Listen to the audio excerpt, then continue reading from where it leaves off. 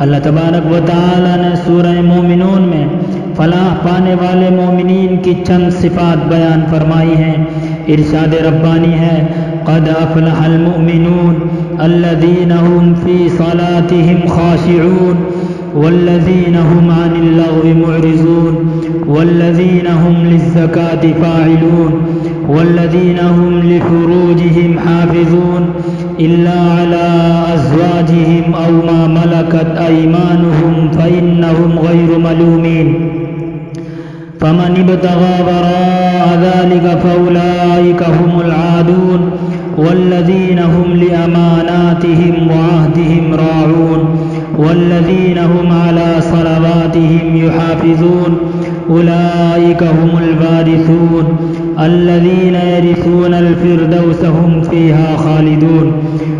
उन मुसलमानों ने फलाह पाई जो अपनी नमाज में खुशू इख्तियार करने वाले हैं जो लव बातों से अलग रहने वाले हैं जो अमाल और अखलाक में अपना तजकिया करने वाले हैं जो अपनी शर्मगाहों की हिफाजत करने वाले हैं सिवाय अपनी बीवियों और बांदियों के क्योंकि उन पर उसमें कोई इल्ज़ाम नहीं और जो इसके अलावा शहवत रानी का तरफगार हो, ऐसे लोग हद शर्वी से तजावुज़ करने वाले हैं और जो अपनी अमानतों और अपने अहद का ख्याल रखने वाले हैं, जो अपनी नमाजों की पाबंदी करते हैं, बस ऐसे ही लोग वारिस होने वाले हैं, जो फिरदोस के वारिस होंगे, वो उसमें हमेशा हमेशा रहेंगे।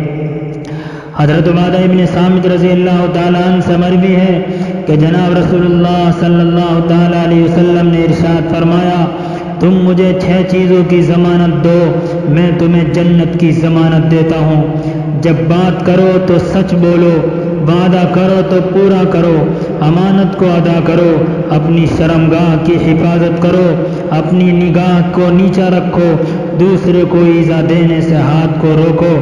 दूसरी हदीस में कमली वाले आका सल्लल्लाहु ताला अलैहि वसल्लम इरशाद फरमाते हैं मैं यजमनुली मा बैन लिहियही व मा बैन रिजलई अजमनु लहुल जन्ना, जो मुझे ज़बान और शर्मगाह की हिफाजत की ज़मानत दे, मैं उसके लिए जन्नत का जामिन हूँ।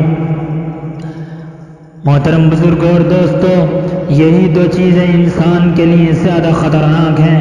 उन्हीं में को, उन्हीं में कोताही और लापरवाही इंसान को सबसे ज़्यादा जहन्नम में पहुंचाती है। अगर ज़बान को काबू में न रखा तो तबाही और मुसीबत रखी है। इसी तरह शर्मगाह की हिफाजत न की तो भी हलाकत बर, हलाकत बर्बादी में कोई शुबा नहीं।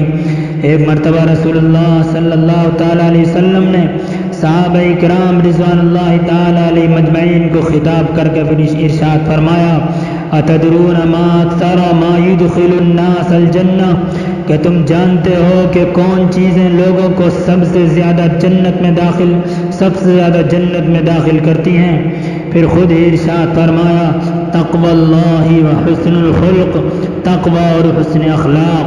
फिर इरशाद फरमाया अतदरून मायुदखिलन्नासन्नार क्या तुम जानते हो क्या चीज़ें लोगों को जहन्नम, सबसे ज़्यादा जहन्नम में दाखिल करती हैं। फिर खुद ही इर्शाद फरमाया अलज वफ़ानिलफ़म वलफ़रज मुँह और शर्मगाह इर्शाद रब्बानी है, वला तकरबुज़िना इन्नहु कान फाहिशा वसा सबीला जिना के करीब भी मत जाओ। बिलाशुबा वो बड़ी बेहयाई की बात है और बहुत बुरी राह है। दूसरी जगह इरशाद होता है। इन अल्लाह वल इहसान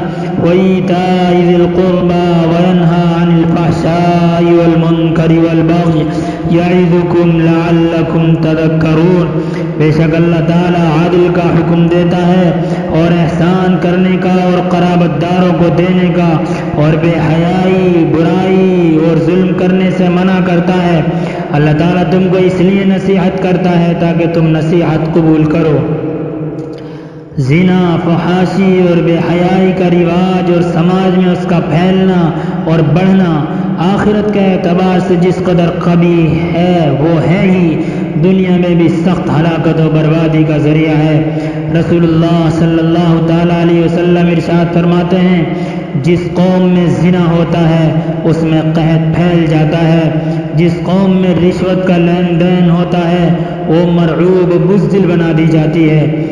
बुखारी और मुस्लिम की हदीस से मालूम होता है कि जिना के मुख्तलिफ़ दर्जात हैं। हाथ का भी जिना होता है, ज़बान का भी जिना होता है, पैर का भी जिना होता है, और निगाह शर्मगाह का भी जिना होता है। अल्लाह के यहाँ हर एक पर पकड़ है। हर एक की पकड़ उसके दर्जे के एतबार से है। ज़बान का जिना, ज़बान की बात और उसकी गुफ्तु करना है। लुत्फ लेकर किसी गैर औरत का तस्करा करना है। आँख का जिना गैर औरत को देखना है। पाँव का जिना उसकी तरफ़ बढ़ना है। हाथ का जिना उसको पकड़ना है। दिल का जिना गैर औरत की ख्वाहिश व चाहत दिल में पैदा करना और उसके बारे में सोचना है। रसूलुल्लाह सल्लल्लाहु अलैहि वसल्लम इरशाद फरमाते हैं, जानी जब जिना करता है तो मोमिन नहीं रहता, चोर जब चोरी करता है तो मोमिन नहीं रहता, लुटेरा जब लूटता है तो मोमिन नहीं रहता, कातिल जब कत्ल करता है तो मोमिन नहीं रहता, खाइन जब खयानत करता है तो मोमिन नहीं रहता, उसका नूर ईमान चला जाता है और वो काफिरों के जुमरे में शामिल हो जाता